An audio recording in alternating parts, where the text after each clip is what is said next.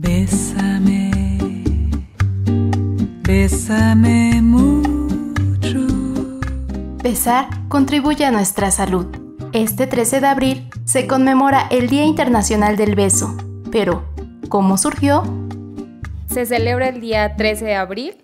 Eh, cada año es una conmemoración poco usual que surge a partir de una pareja tailandesa eh, que se besó en un certamen durante 58 horas, 35 minutos y 58 segundos.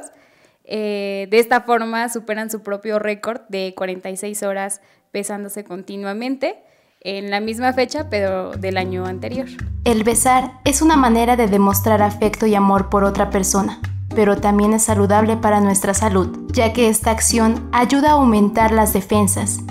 Y el mezclar saliva funciona como vacuna natural. Esto a efecto de inmunizar con ayuda de los gérmenes. Los especialistas que besar tiene muchos beneficios, eh, pues tan solo con un beso apasionado eh, se ejercitan más de 30 músculos de la cara eh, y los mantiene obviamente tonificados, reduce la apariencia de las líneas de expresión, disminuye el estrés, la tensión y la ansiedad. Pero también los besos son una especie de droga natural, ya que generan sustancias de placer. Se liberan endorfinas y oxitocinas, mejor conocidas como hormona del amor.